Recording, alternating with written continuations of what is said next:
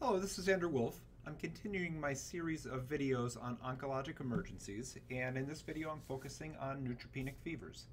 So neutropenic fevers are the considered the primary cause of mortality in 36% of cancer patients and a secondary or a component in the mortality of up to 68% of cancer patients. So neutropenic fevers are an important uh, emergency to know about and understand because it um, leads. It is one of. It is probably, arguably, the most common cause of mortality and morbidity in cancer patients.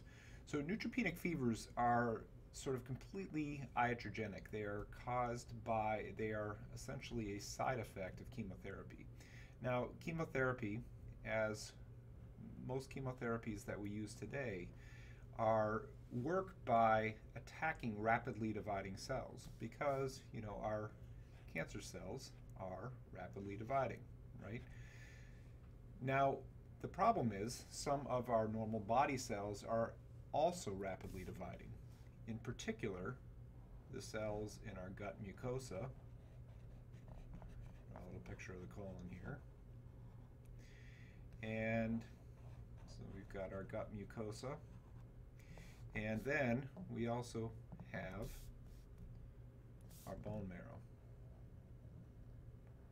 And the other areas of rapidly dividing cells are the cells in our hair follicles as well. So we've got, and actually, you know, in adults, the bone marrow where the uh, hematopoiesis is occurring is actually in the flat bones. Um, so bear with me here with my rough drawings. Um, so actually these are mostly you know occurring in, in the pelvis and the sternum um, and you know hematopoiesis um, actually occurs in, in, the long bones primarily only in children. Um,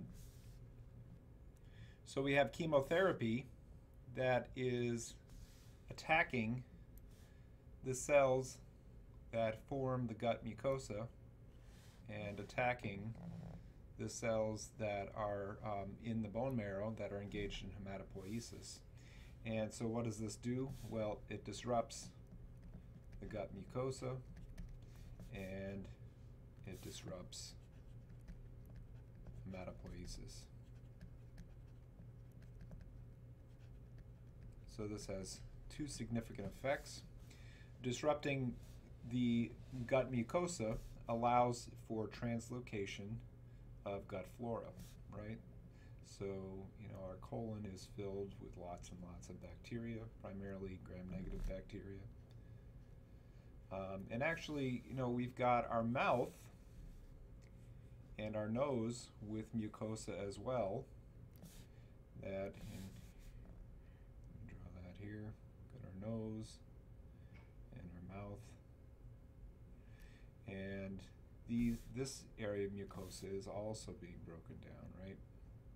So our oropharynx and nasopharynx are always also being broken down.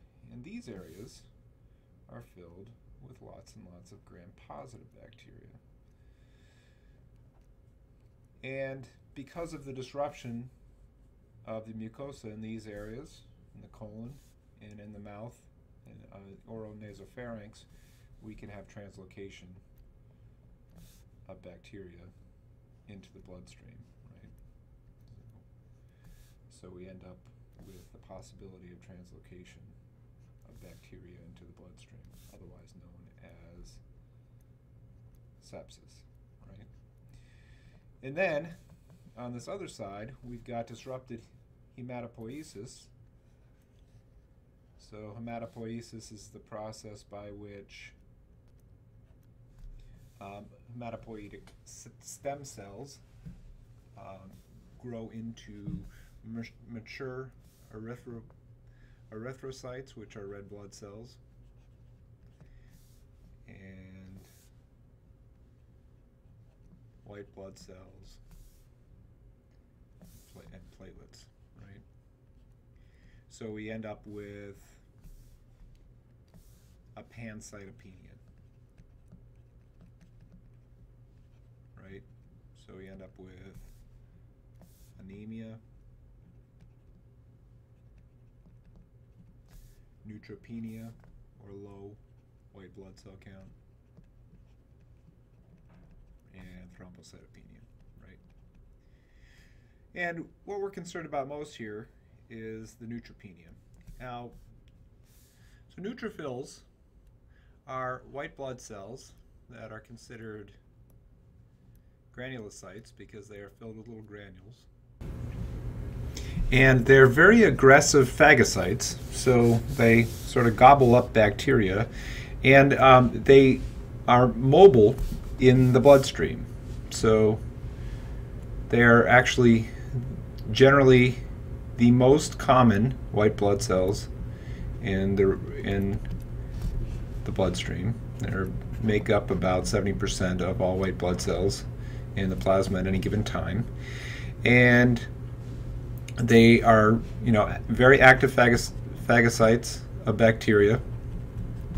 And they are very important because of their phagocytic role as well as their role in you know their granule the granules that make them granulocytes are filled with cytokines. And these cytokines help to direct the inflammatory response against bacterial infections.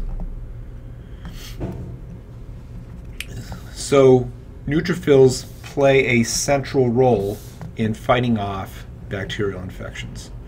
So now we have a situation in which we have um, disrupted mucosal membranes in both the gut and the oral and nasopharynx that allows us to have translocation of bacteria into the bloodstream.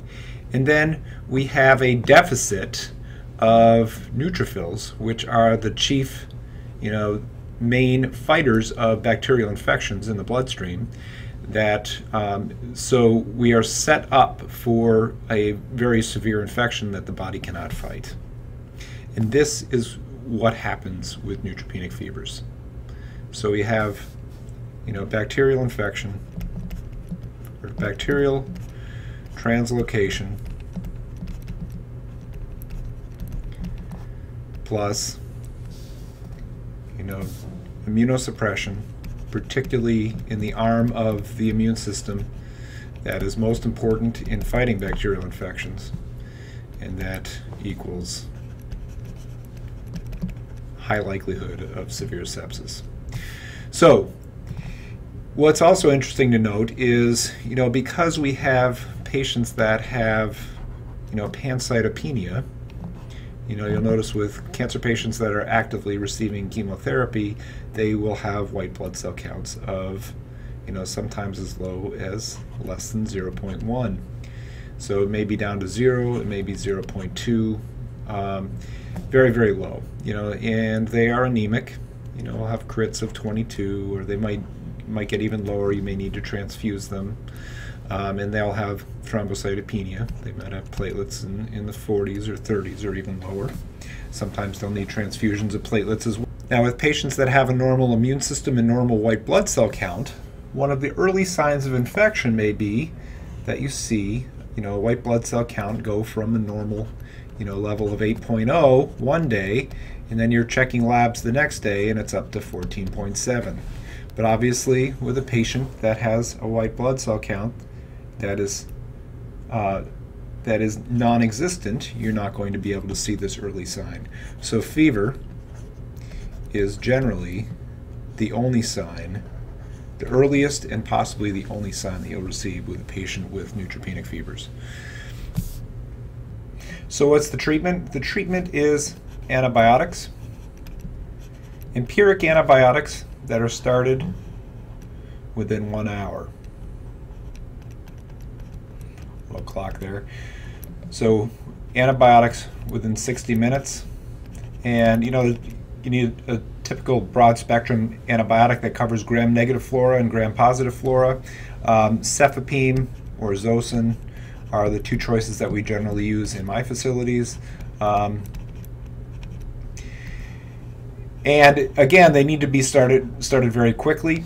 After um, you know, cultures will also be sent, and these broad spectrum antibiotics can be can be narrowed. However, a uh, bacterial organism is not identified in over 60% of the time patients with neutropenic fevers, so you just need to continue empiric um, empiric antibiotic therapy. Okay, so I'm not going to get into a lot of detail here, but um, you know there are three types of infections that can cause neutropenic fevers. Um, bacteria are by far the most common, and in particular, um, gram-negative uh, from gut uh, translocation from the gut, um, and gram-positives um, from translocation from the uh, oropharynx and um, and nasopharynx. Sometimes there uh, there can be uh, line sepsis as well. That is also a possibility. Now, if someone has um, you know a profound neutropenia uh, for a prolonged period of time, they do become susceptible to fungal infections, so um, fung fungus and, and, yeast, so candidemia um, and uh, infections from aspergillus. Um, and again, you know, sort of the higher risk patients with uh, prolonged neutropenia, um, patients can um, become at risk for viral infections as well. And, you know, but again, you need to presume that it is bacterial first because these are tend to be the most common by far. So generally what we will do is treat them for um, empirically for bacterial infections and then um, send off cultures and if the patient continues to be febrile um, then we start to look for other possibilities like fungal infections and viral infections. Viral infections um, can include things like the uh, herpes simplex viruses, uh, varicella, and uh, cytomegalovirus. Okay, so that's my very brief introduction to uh, neutropenic fevers, and I will see you in my next video.